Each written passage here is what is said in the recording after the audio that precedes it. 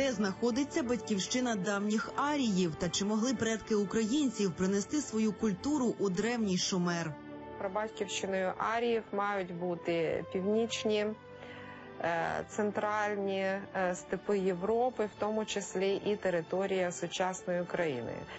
Звідки походить легенда про створення першої людини та чи міг Ісус Христос жити раніше за Адама? І тоді виникає цілком логічне запитання: а хто ж був першим? Пророк Адам чи Бог Ісус Христос?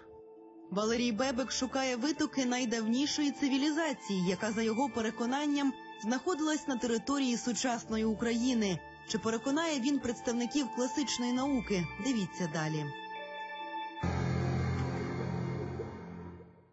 Вітаю вас, шановне товариство.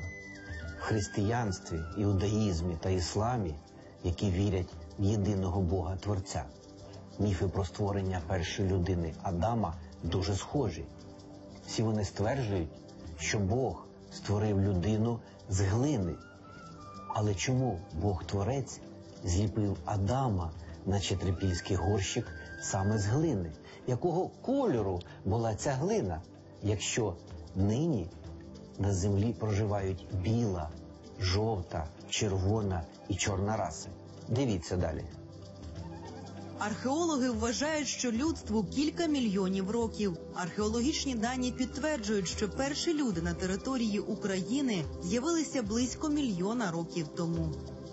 Цей уламок рогу північного оленя було знайдено під скелею скелелазів на східній околиці Львова у 1993 році.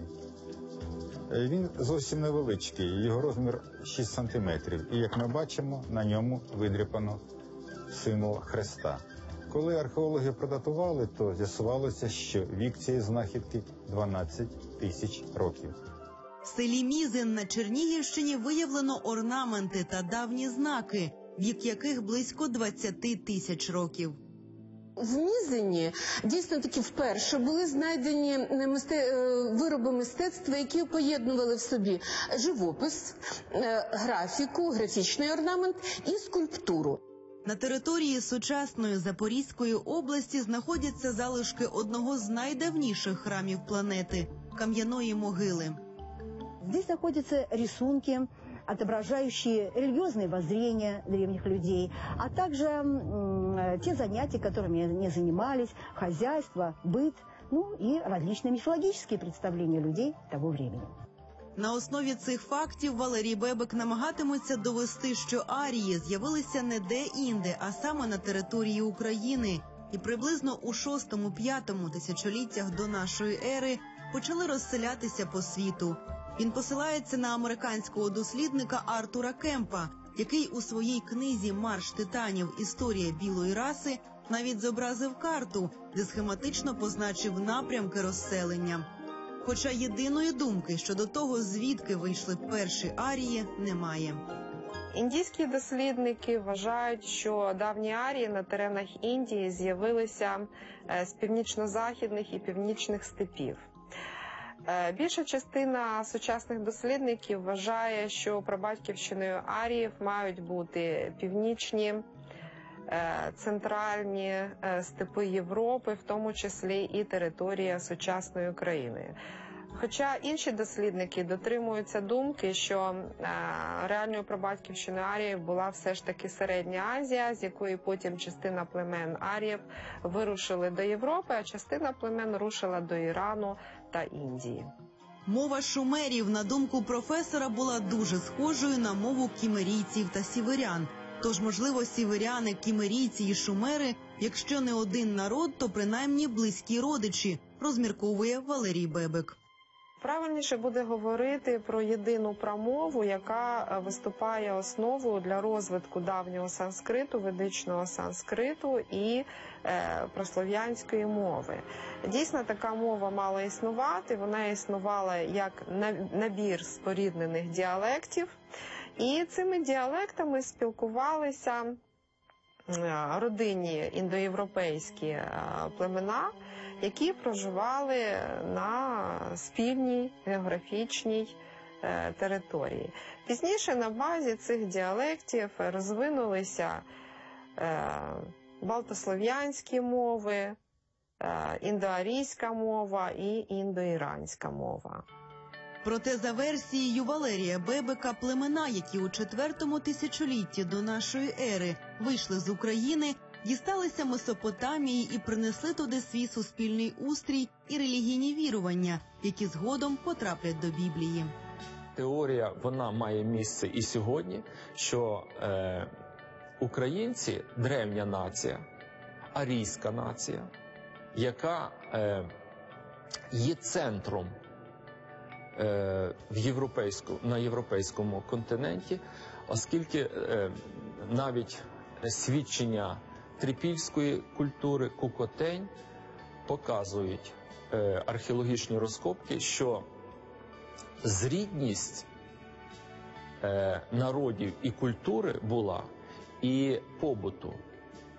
І е, Європа е, вона була е, і географічно, і цивілізаційно саме на нашій території. Ця цивілізація існувала на території України, Молдови та Румунії протягом 6-3 тисячоліть до нашої ери. Трипільці виготовляли дивовижний глиняний посуд і користувалися унікальною системою знаків.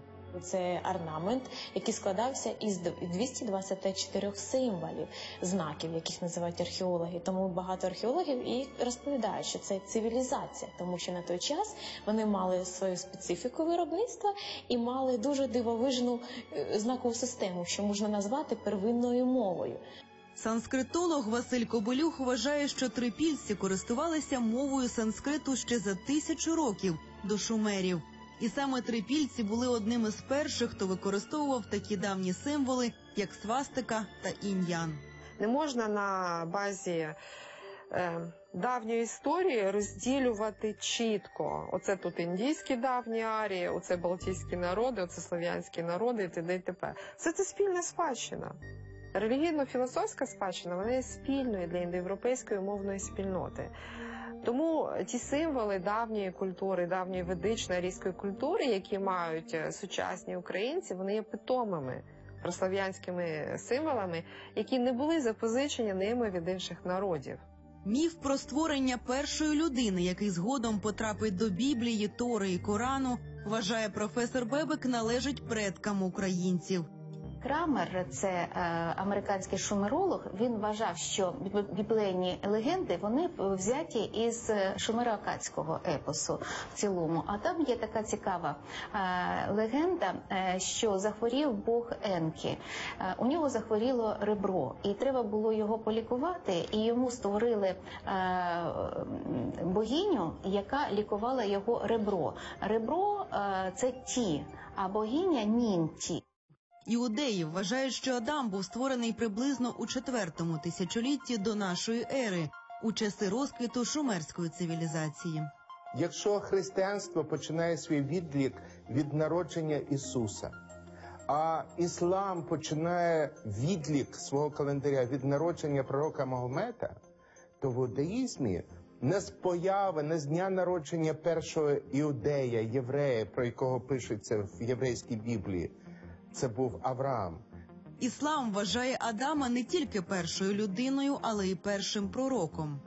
Первый пророк и посланник – это первый человек, Адам. И в его время его дети, его семья и знали, как поступать, и знали, что такое грех, что обязаны делать, что дозволено, что не дозволено. То тогда были те законы Божьи для того времени.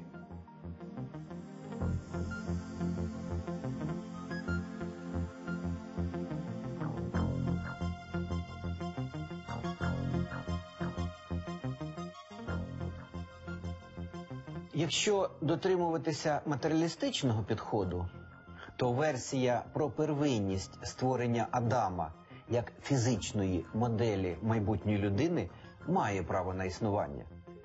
Але філософська суперечка про те, що є первинним матерія чи дух, і досі не має свого розв'язання. В цьому зв'язку саме існування віртуального Бога, який створює матеріальний світ, ставить під сумнів глиняну версію походження людства. І тоді виникає цілком логічне запитання: а хто ж був першим? Пророк Адам чи Бог Ісус Христос? Шумерські міфи розповідають, що люди, створені богами з планети Нібіру, не могли мати дітей, і лише з другої спроби вдалося таки створити людей, здатних народжувати. Адам це перша е, вдала спроба створення вищої істоти. Що таке вища істота? Це істота, яка не тільки свідомістю наділена, бо свідомість є в коня, свідомість є в собаки, свідомість є у мавп, а самосвідомість, самоусвідомлення тільки у людей. Існує думка, що Адам і Єва в раю не мали проблем з харчуванням, і це з матеріалістичної точки зору можна було б пов'язати з мисливством і збиральництвом. А під карою Господньою, на думку Валерія Бебека, слід розуміти перехід до вирощування хліба. Пшениця не могла вирости е, на землі. Вона не могла тут створитися. Тобто це з космосу сюди послано і послано на наші терени. Якщо Ісус Христос уособлення вічного віртуального Бога, який приймав образ людини, то ким тоді є пророк Адам, створений Богом?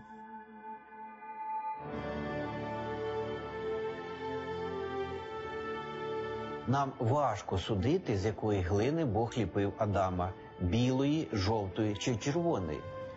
У нас є достатньо вагомі підстави вважати, що старий заповіт був написаний пізніше за новий заповіт з Київської Біблії. Ісус Христос насправді не був людиною. Він був схожий на людину, але реально був Богом, здатним творити чудеса. Тож, можливо, саме він зліпив з глини Адама і вдихнув в нього душу. Це була програма Цивілізація інкогніта, яка розставляє свої крапки над українською літерою «Ї».